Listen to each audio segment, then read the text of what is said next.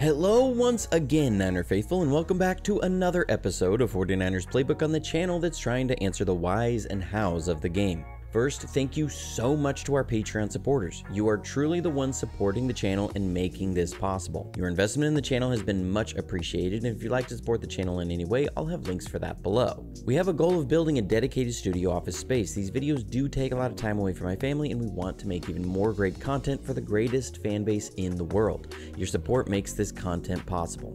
Also, please like, subscribe, and comment if you haven't already. It's a free way to support the channel.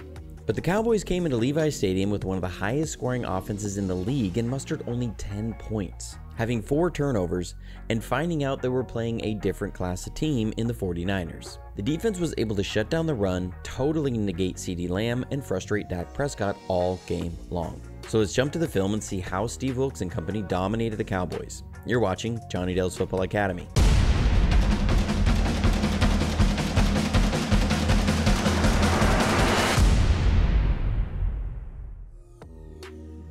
Right from the opening play, the defensive line set the tone for how the game would go.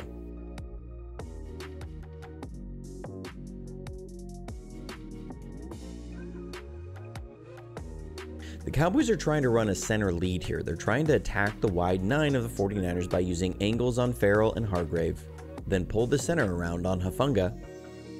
Then they'll have a scoop block on the backside, while Martin looks to get up on Greenlaw and then use quarterback option to try and hold Bosa. It's not bad design, it accounts for everyone on the defensive side. But at the snap, Ferrell does a great job setting the edge, and Hargrave is just going to beat his man. Hargrave and Ferrell stuffing the point of attack allows Bosa to run down the play from the backside.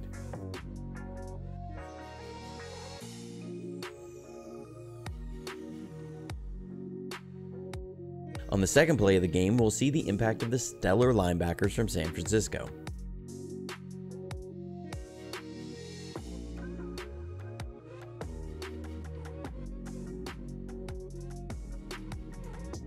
This is a different look for the 49ers. We didn't see this coverage ran like this with DeMeco Ryans. This is something Wilks brought with him. It's a fire zone, but your outside corners are in press man. They're bringing Gipson on a blitz, and the two outside guys, Greenlaw and Burks, are playing carry, match, deliver. They'll carry any vertical in their area to a depth before handing off to Hufanga, match anything out breaking, and deliver anything in breaking to Warner. The Cowboys come with a run fake and are trying to hit the tight end on a corner route, but you see how Warner carries him vertically while Greenlaw looks to match the outbreaking route. Dak tries to lead his tight end away from Greenlaw and can't make the tight window throw. You can see how the presence of both linebackers in coverage affected the throw and it's incomplete.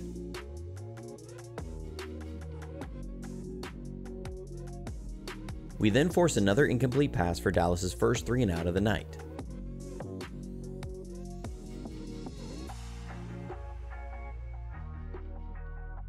We're coming with heavy pressure here, and again, the inside guys, Gipson and Oliver, are going to in out Lamb.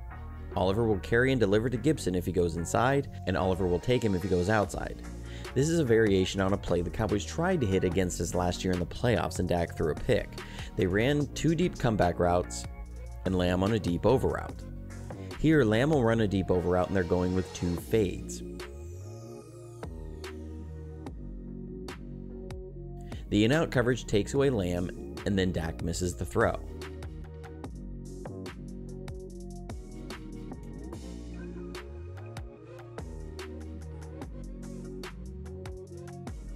If we take it back, I want to highlight Lenoir here. He gets physical at the line and watch him squeeze the route to the boundary. He's using it as a help defender, and he stays in perfect position on the receiver, leaving no room for Dak to get the ball in.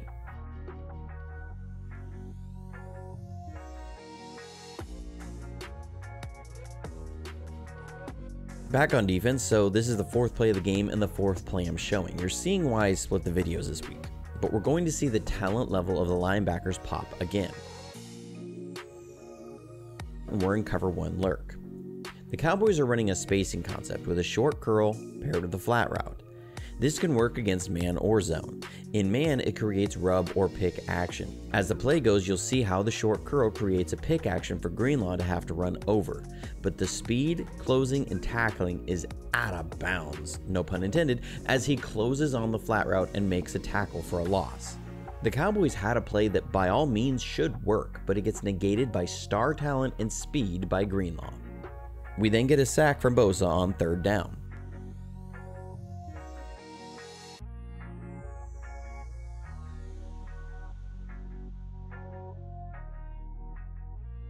The Cowboys spread out and were in cover one lurk. I'm pretty sure there's a wrong route here because Dallas comes with three slants to the three receiver side.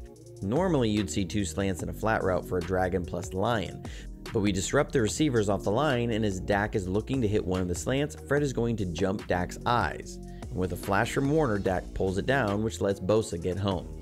That's good coverage and good pass rush.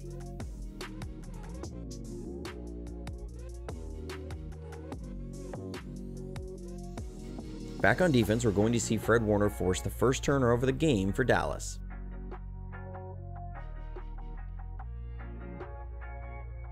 The dude is an alien. There's no other explanation. Dallas is coming with a G lead, and Biadasz gets up on Warner, but watch Fred humiliate the block, then run down the ball carrier and force the fumble. Sometimes there's no words but just to let the play speak for itself.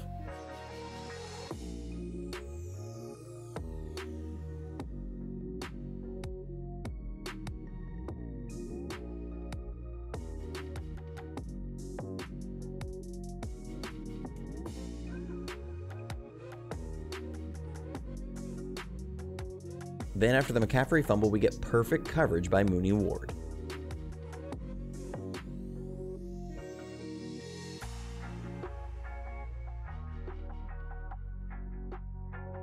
We're in cover 3 zone here, and I'm really surprised Dak even took this shot.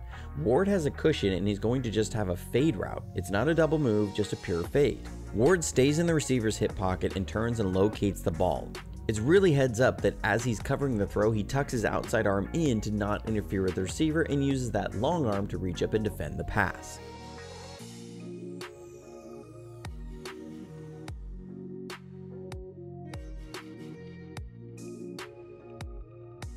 Next, you're going to see one of the greatest plays from a linebacker, period. So if you watched my episode on the defense last week, I talked about one play the team had struggled defending in man coverage, and it was the mesh concept. Here's a clip from last week. Alright, then we're going to see the first not so good. Again, there's this idea that we didn't play press man. Well, it's third down and we're in press man, and the Cardinals are going to come with the old mesh concept. It's been used to beat press man for decades now, and you see why. Oliver gets picked on the cross traffic, and we give up a completion for a first down. If you're going to press on these, you better be able to jam that receiver hard and disrupt the timing on this. We've been susceptible to these types of plays in man. So what do the Cowboys run here on third and short seeing the man coverage? A mesh concept. The difference is Fred Warner is going to blow this play up. I cannot wrap my head around how Fred sees this, but he's going to feel the shallow crossers, and remember, contact is allowed within the first 5 yards. Fred disrupts both shallow crossing routes, then tracks Dak's eyes and undercuts CeeDee Lamb's route, forcing Dak to pull the ball. Then follows him down the line to the open field and goes and makes a sack on Prescott. I just, I, I don't know. This man is not real. Fred Warner is the best linebacker in the league, and it's not even close.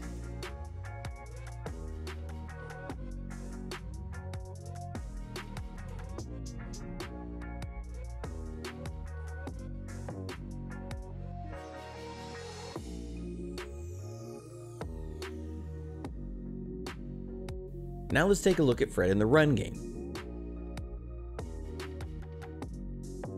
Dallas is running an inside zone and they're going to try and get up on Fred with a tight end. That's not a good matchup. Watch Fred take that blocker on and the violence with which he meets the block and then gets on the tackle. And then yet another example of how freakishly good these linebackers are. Tony Dungy said before the game that Dre Greenlaw reminded him of a linebacker he had in Tampa, Derrick Brooks. So let's dive into exactly what he meant. Here we're showing a single high pre snap and the Cowboys have a verticals concept dialed up. Just before the snap, you'll see Gipson drop back and will be in Tampa 2 zone. Tampa 2 gets its name from Tony Dungy creating it in Tampa Bay. It varies from cover 2 zone in that the safeties widen more than normal to take away shots down the sideline. But with the middle of the field more exposed, the mic is responsible for carrying the deepest route down the middle of the field, usually from the number 3 receiver. This means that the weakness of the Tampa 2 is the short middle of the field where the mic would have otherwise been. This puts a lot of stress on your weak side or will linebackers. They will often be the guy who then has to clean up all the short stuff over the middle.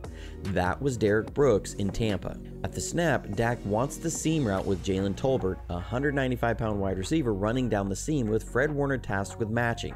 Fred is stride for stride with him, so he's forced to check down to the short underneath and watch Dre Greenlaw clean it up. That looks exactly how Derrick Brooks used to clean up these plays in Tampa back in the day.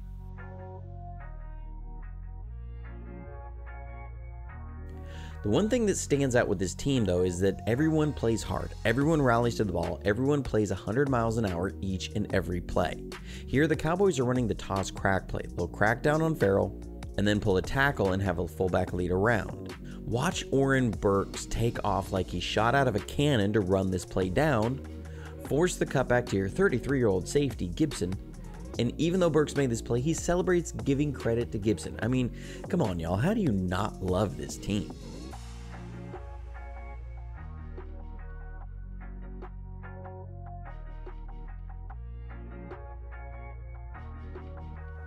Then I want to come back to this Derrick Brooks comparison because Greenlaw is getting a little overshadowed by Fred Warner, which I totally understand, but Dre has been playing out of his mind. We're in Tampa 2 again, and Dallas is trying to work a triangle stretch to high low Greenlaw in this Tampa 2. They're going to run a deep out, which will draw Warner and Oliver, and then have a hook over the middle with a short curl by the running back. Greenlaw sits on the hook route, forcing Dak to check it down, and when he does, drives on the running back with violence and forces an incomplete pass. Not even joking here, this is exactly what Derrick Brooks did in Tampa.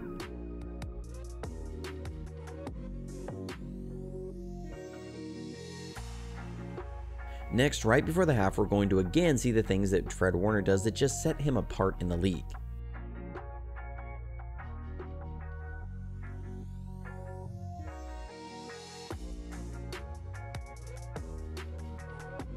We're showing a press man look with single safety pre-snap. Post-snap, we shift into Tampa 2 zone. I love the disguise by Wilks. Make the quarterback work post-snap. But this means you have Fred Warner matching Brandin Cooks, a guy with a ton of speed down the middle of the field. The disguise throws off Dak and allows the pressure to get there, so he flushes out and tries to heave it down to Cooks, but Fred Warner was there the whole way. Some people said Dak overthrew this, but if he threw it in bounds, Fred was right there. There was nowhere for Dak to put this ball. That's your middle linebacker running down the field with not just any receiver, with Brandin Cooks. Then we see Dre Greenlaw get a sack.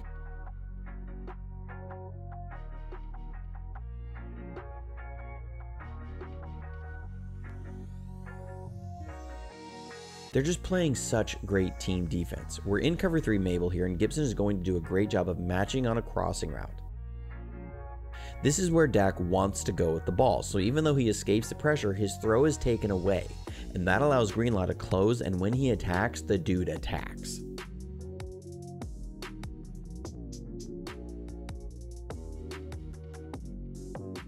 Alright, so now I want to talk about the reigning Defensive Player of the Year, Nick Bosa. Dallas is trying to run a G lead, and let's watch Bosa here. First, they're trying to block him with the tight end, which just isn't happening. He stands the tight end up. The guard, one of the best in the league, tries to help out and doesn't accomplish anything. Bosa is such a selfless, heady player. He sees the fullback coming out and will reach out an arm and hold the guy up with one arm, while he's engaged with the tight end with the other.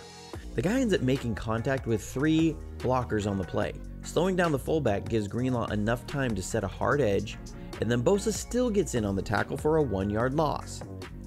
That is what it means when you're the defensive player of the year. There's not enough good words to say about this play from Bosa.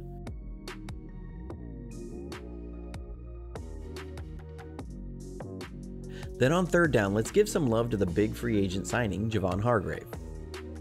The Cowboys are trying to run duo here, and Hargrave stems inside. The center wants to get to Fred Warner but can't. They double up on Hargrave and he still splits the double team and makes the tackle for a loss.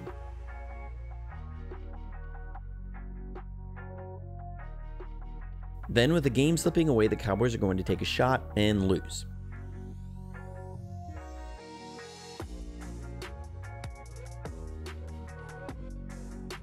We're in press man and they're going to try and go after Lenoir. They're trying to run a play action fake, have full max protection, run Lamb on a curl route, and have Cooks on a streak. Dak is going to try and look off Gipson, but it never works, and he figures if you're going to be wrong, be long. Well, Gipson stayed steady in the middle of the field, and so he's all over the route and runs it down for a pick.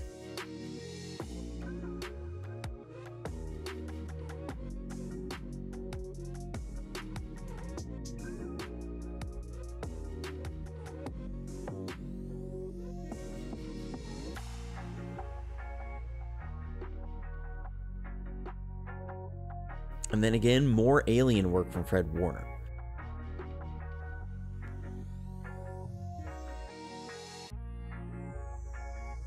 So we're in cover four, and the Cowboys are running a double dig concept. This is going to put Warner in a horizontal stretch. Dak is reading Fred the whole way here. He thinks he's got him when he sees Fred's hips turned. But come on, how many linebackers can recover like this to flip his hips and drive on the throw, get a hand on it, and break up the pass? I'm pretty sure Dak couldn't believe Fred got there.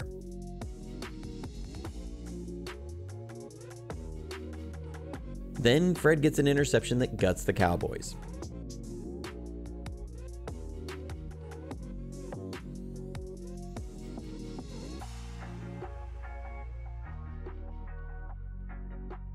We're in a zone blitz that we ran while DeMeco was here, and they're going to try and work on Lenoir again. He's in press man, and they're going to try and hit a slant against him. Lenoir has really been solid on the outside. People saying we need a corner, I'm not so sure. I really do like the guys we have. Lenoir fights on the route, gets a hand in to knock the ball up, and the alien closes in for a pick. It was really hard picking what to show and what could even be left out of this game. The defense had their best game of the year and absolutely throttled a team that had been scoring over 30 points a game coming in. Fred Warner is leading an absolutely stacked group of talent, and when you look at the 49ers, it's hard to see a team that is more talented on either side of the ball, let alone more talented, period. It was some of the best film to watch on the defense, and I hope it gets you as excited as I am for a big matchup against the Browns. But until next time, stay safe, stay healthy, and go Niners.